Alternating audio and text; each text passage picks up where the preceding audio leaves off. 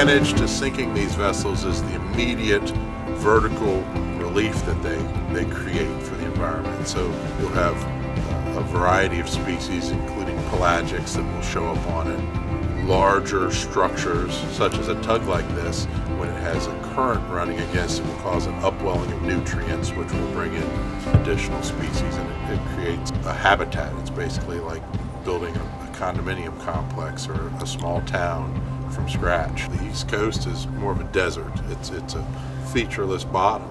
And by uh, putting a hard surface structure on it, you're giving, uh, you're creating habitat. You're giving things for invertebrates to grow on, and it, it starts the basis of the food chain. Crabs will feed on the invertebrates, fish will feed on the crabs, and and uh, you know there's tremendous benefits to be found from it, uh, which have been proven over the years from all the artificial reef creation. Our process, we actually go beyond what the, the guidance says. We'll generally cut out the piping that would have oils or fuel in it, and um, go go that extra step.